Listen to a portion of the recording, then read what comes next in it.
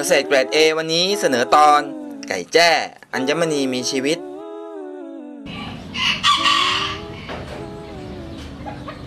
เสียงขันหวานใสแสบแก้วหู และความเตี้ยกลมกระปุกลุก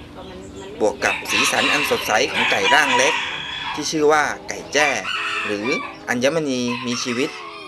จากความสวยงามของสีขนทำให้แม่บ้านมุสลิมะท่านหนึ่ง ถึงกับต้องมน หลงไหลเสน่ห์ความสวยงามและความน่ารักของมัน ในอดีต เธอรับราชการเป็นแม่พิมพ์ของชาติ จากความรักกลายเป็นความใส่ใจ จนกลายเป็นรายได้หลักของครอบครัว ถามว่าเป็นอาชีพหลักได้ไหมได้ค่ะ เมื่อก่อนนี่เคยทำงานประจ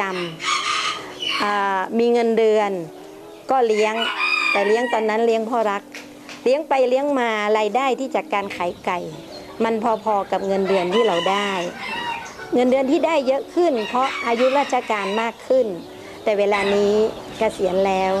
ถามว่ารายได้ยังดีไหมดีค่ะบางเดือนอาจจะมากกว่าบำนาญที่ได้รับค่ะ ไก่แจ้หรือไก่ต้อย เป็นไก่ตัวเล็ก เตี้ยแจ้สีขนสวย ถือเป็นไก่พื้นเมืองของไทย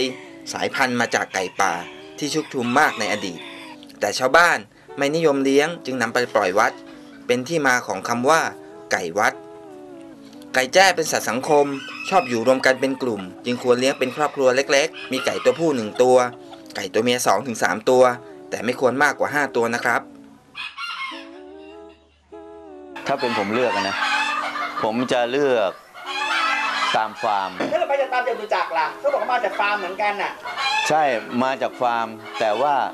เอ่อเวลาที่คุณไปเล่นปั๊บเนี่ยคุณจะต้องนับหนึ่งใหม่ เพราะว่าคนที่เขาขายเนี่ยเขาจะเอาสีมาแล้วก็เข้าคู่กัน ไก่จากฟาร์มหนึ่งหรือว่าอะไรไก่ที่ใช้ไม่ได้ แต่สีมันสีมันพอดูได้ เสร็จแล้วก็พอมาปั๊บจับคู่กันนี่แหละครับ ชุดเขาเลยเนี่ยเนี่ยเนี่ยปัญหาที่เราจะถูกหลอก บางครั้งก็อาจจะมาจากฟาร์มดีนะแต่ว่าฟาร์ม ไก่ที่เขาขายออกไปนั่นคือไก่ที่เขาไม่ใช้ ไก่หนุ่มไก่สาว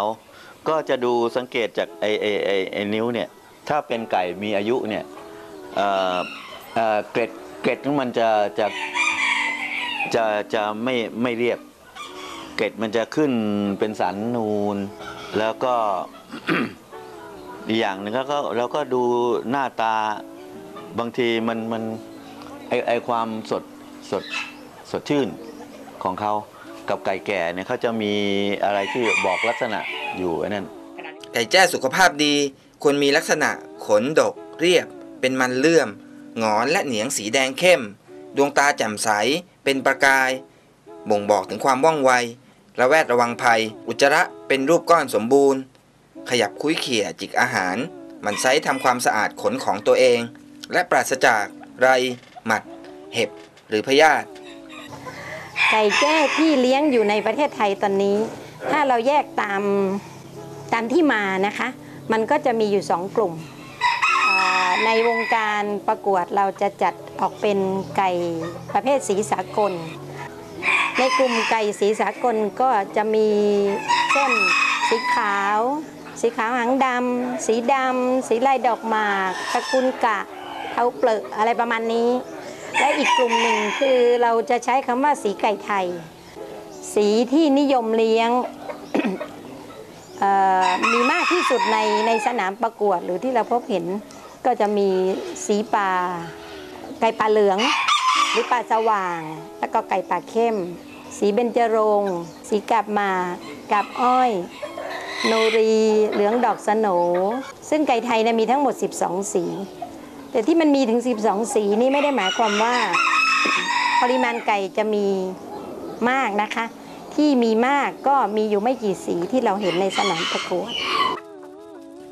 ในวันพรุ่งนี้เราจะพาคุณผู้ชมไปดูวิธีการเลือกไก่แจ้ที่ดีเป็นอย่างไร เอ่อลักษณะติดตามได้ในที่ เกษตรเกรด A วันพรุ่งนี้นะที่ครับ เราจะดูไปเลี้ยงเนี่ยนะฮะดูฟอร์มทั่วๆไปก็คืออกเนี่ยต้องกว้าง แล้วก็หางเนี่ย